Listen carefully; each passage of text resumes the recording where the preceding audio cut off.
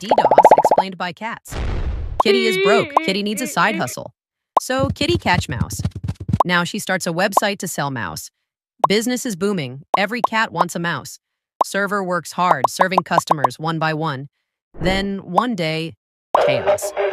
Thousands of requests hit the site, all at once. Not real cats, but fake ones.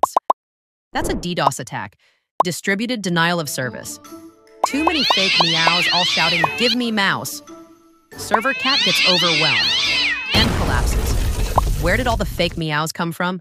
A botnet, an army of infected cats' computers, all controlled by one evil human. Real cats can't get their mouse anymore. The site is frozen. So Kitty fights back. She adds more servers, a load balancer to share the work, a firewall to block suspicious meows, and rate limits. One mouse at a time, please. Soon the fake meows fade away. Real customers get served again. That's DDoS.